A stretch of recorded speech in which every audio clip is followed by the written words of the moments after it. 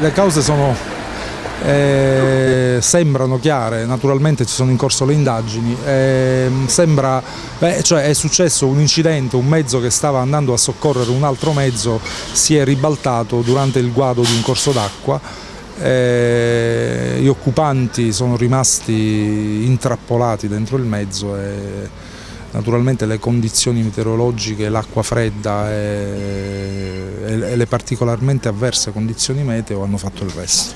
Chi era Francesco? Francesco chi era? Un ragazzo di 28 anni, non ne faceva 29 a maggio, pieno di vita, contento della vita, di quello che stava facendo, oltretutto era un ragazzo molto estroso, aveva tanti amici, quando veniva qua infatti era ben voluto da tutti ed era contento di quello che stava facendo. Sapeva che le missioni erano pericolose, però nessuno lo obbligava in famiglia a fare questo lavoro, è stata una sua scelta sin dall'inizio. Si è entrato sette anni fa eh, ha iniziato a fare questo lavoro, non era la prima missione che faceva perché già ne aveva fatto tre. E lui era stato un'altra volta in Afghanistan e poi un'altra volta in Libano se non sbaglio, comunque non era la prima missione che faceva. Ma chi fa questo lavoro lo diceva sempre, sì, guarda che i pericoli ci sono sempre perché è sempre diciamo, una missione, però lui ne era cosciente, lo faceva con passione e finora insomma era andato tutto bene, purtroppo faceva questo lavoro, quello che guadagnava e pensava a spenderlo, a farsi magari qualche viaggio, a coltivare i suoi hobby. Ancora pieno della, chiaramente a 29 anni è un ragazzo che ancora pensa in grande. Ecco. Lui tornava sempre molto volentieri comunque a casa sì, tornava molto volentieri perché lui era legato molto alla sua terra, peraltro ripeto aveva tanti amici che gli volevano bene, ogni volta che veniva qua sempre si organizzava, l'ultima volta è venuto è stato a gennaio perché era morto, eh, era morto suo nonno e con l'occasione è andato a vedersi la partita Palermo-Napoli perché era tifoso del Palermo quindi si è organizzato con amici suoi. L'ho visto crescere, ho un ricordo meraviglioso, un ragazzo molto bello bellissimo, nella sua vita molto vivace, era sempre in armonia con gli amici. Un ricordo dolcissimo, guarda. Ho saputo che era uno dei più bravi ragazzi di Termini, uno dei più amati.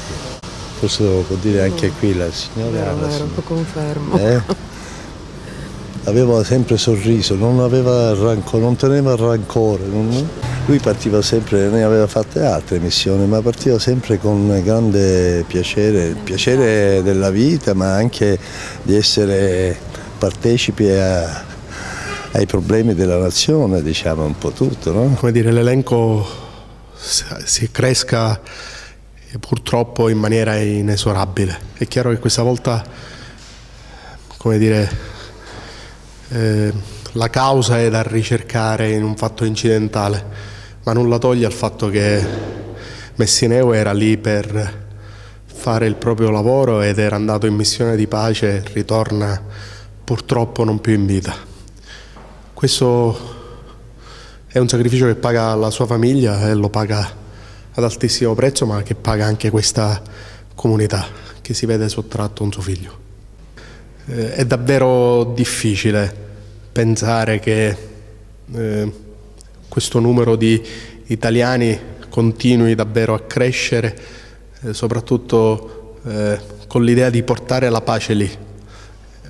Ma se questo significa pagare prezzi e pagare prezzi altissimi, bisogna davvero rimeditare se ci sono tutte le condizioni per continuare questo impegno che fino ad oggi molto probabilmente ha portato lì qualche sollievo, ma a noi ha portato sicuramente molti feretri e molte bandiere tricolore che ritornano qui e che portano poi i nostri familiari a piangere inesorabilmente sulla sorte dei loro cari che sono scomparsi.